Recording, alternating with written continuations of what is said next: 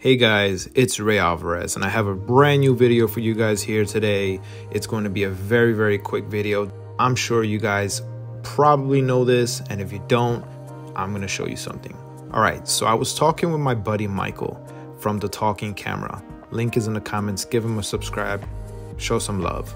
We were having a conversation about headshots and we were actually talking about my last video and we were discussing the skin tone on the final images we were going over it together and he noticed that some of my photos were just a tad bit warm, a little bit yellowish undertones in the skin. And we started going back and forth. We said, you know, let's figure this out.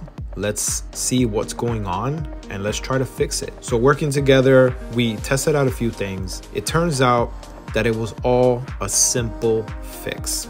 I have something called True Tone turned on on my iMac. In this video, I'm just gonna talk about what True Tone is, how it works, and how to turn it off for my Mac users.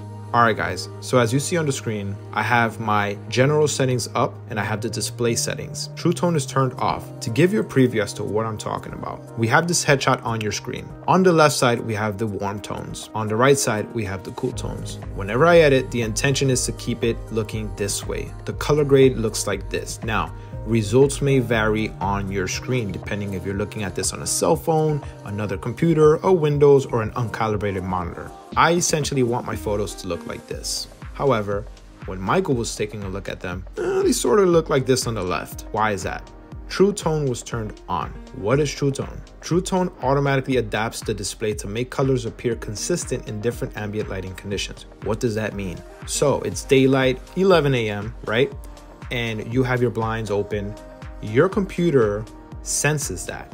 And what it tries to do is tries to change the profile of your monitor's colors to match the ambient light, to match your surrounding. Say, for example, it's 6 p.m., right? It's a little darker in your room. You don't have any lights turned on your screen will adapt to that and try to compensate for that. Now let's say you switch on the lights. For example, if you have warm bulbs, the screen is going to try to compensate for that. True Tone will just try to adapt to your surroundings. Whenever I was editing at night or if I was editing during the day, it was compensating for that. And in turn, my images were looking either warmer or a little bit cooler. How to fix that? Simple.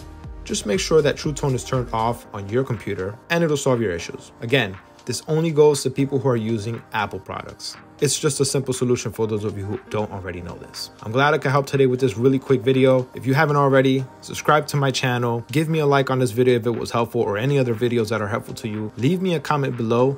Tell me how I'm doing. I would love to hear your feedback. Thank you for watching.